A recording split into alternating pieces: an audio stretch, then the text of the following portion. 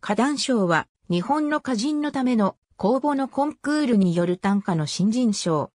本阿弥書店の発行する月間短歌総合誌、花壇が毎年公募する未発表30種の中から選ばれる。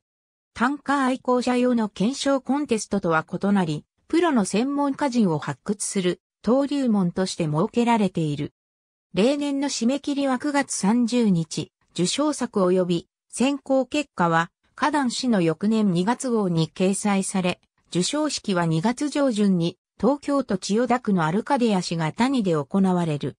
第18回の選考委員は、伊藤和彦、来島康夫、小島ゆかり、今野住、道浦元子の5人。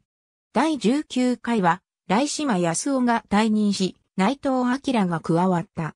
第20回、第21回、第22回の選考委員は、第19回と同じ顔ぶれ。第23回からは、小島ゆかりに代わり東直子が加わった。第26回から今野住、道浦元子に代わり、水原志音、吉川博士が加わることが発表された。受賞者には、賞状、勝敗と副賞として、賞金20万円が授与される。第1回は1990年。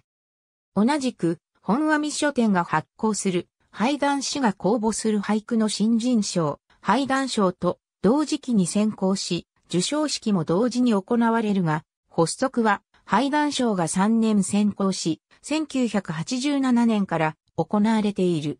ありがとうございます。